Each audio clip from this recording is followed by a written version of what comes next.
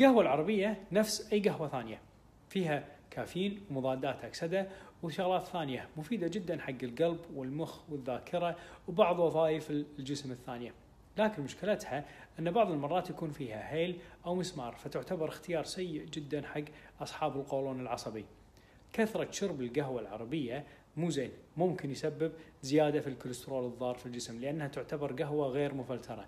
يعني بعد ما ضافوا القهوة والماي ما مرت على فلتر فلما نشرب القهوة العربية نلاقي فيه بعض الشوائب اللي موجودة أو ما يسمى بالحثل. كثرة هالشيء هذا ممكن يزيد الكوليسترول الضار في الجسم. البعض يقول أن أهلنا طول عمرهم يشربون قهوة ما صار فيهم شيء. هذا أبدا مو صحيح. إحنا كشعوب عربية وخصوصا الشعوب الخليجية تعتبر من أكثر شعوب العالم في آه، أمراض الكوليسترول والقلب وأمراض الشرايين، ما نقول إن القهوة هي السبب ولكن ممكن تكون عامل. القهوة العربية زينة ومفيدة لكن كثرتها هي اللي مو زينة وبس.